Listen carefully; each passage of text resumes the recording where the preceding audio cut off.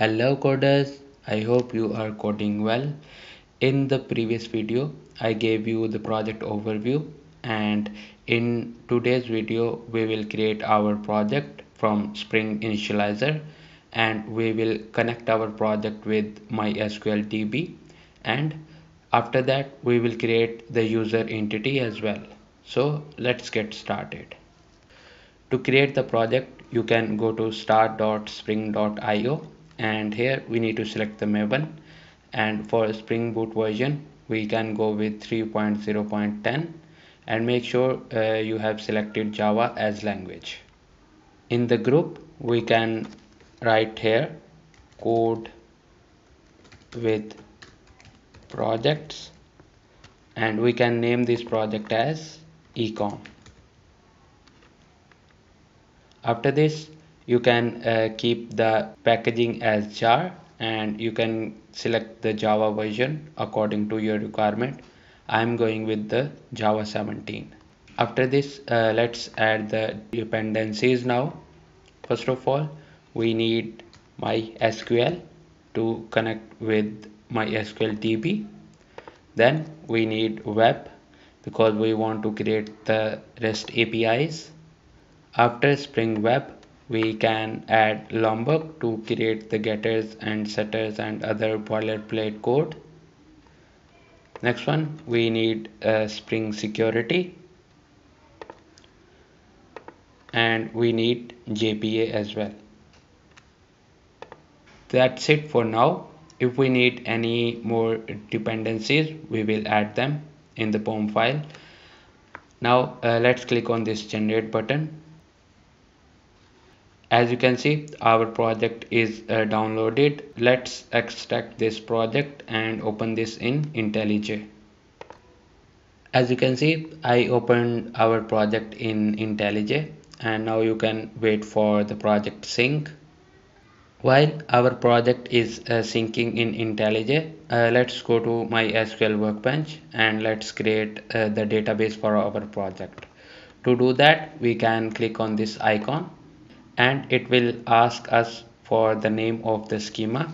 And we can give ecom underscore code underscore with underscore projects. After giving the name you can click on apply and click on apply again and finish. As you can see our schema got created. Let's go to IntelliJ and add the properties to connect with this database.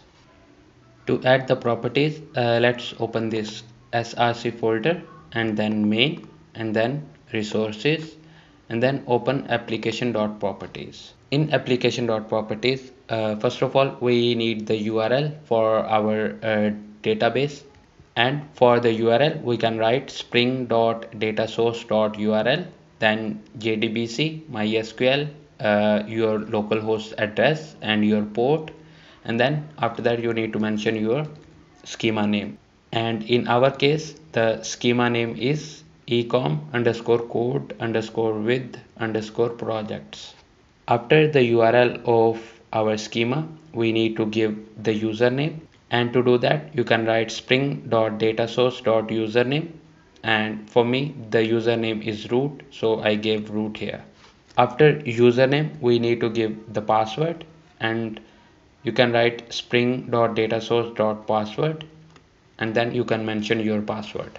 After the password we need to give the driver class url and you can mention spring.datasource.driver class name is equals to com.mysql cj jdbc.driver after the driver class name uh, let's give the DDL auto as update and show SQL queries is equal to true. So we can see the MySQL queries got executed. With that our project sync is completed as well. Now uh, let's go in the Java folder and in our main folder let's right click and click on new package and name this package as entity in this package right click and click on new java class and name this class as user. So uh, let's add some annotations and to start with we need to mention entity. And then to create the getters and setters we can write here data. And the last one is at the rate table. And let's give a table name as users. In this user class first of all we need id so we can write private long id and we need to add some annotations for this id so the first one is at the rate id and the second one we need to give the generation logic so we can write generation value. And then we can mention strategy is equals to generation type identity. So it can increment the IDs while creating a new user.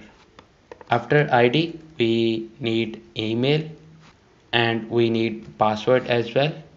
After password we need username and we need user role.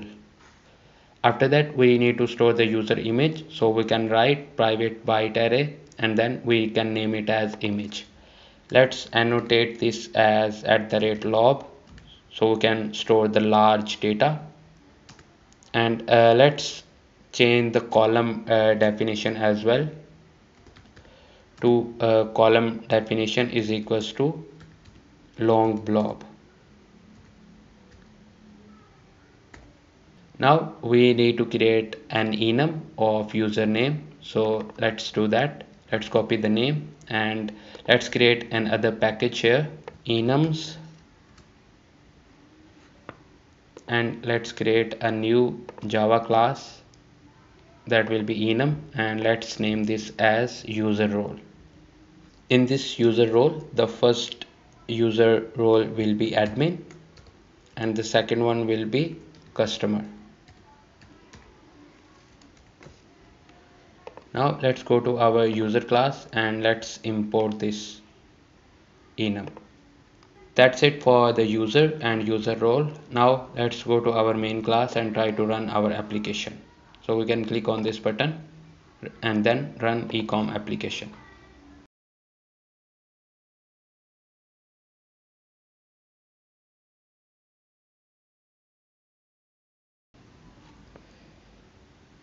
as you can see our application is up on port 8080 now let's go to MySQL workbench and let's refresh our schema and confirm if our user table got created or not.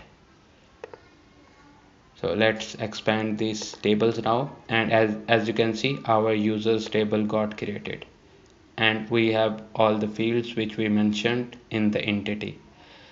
That's it for this video in the next video we will set up the angular project.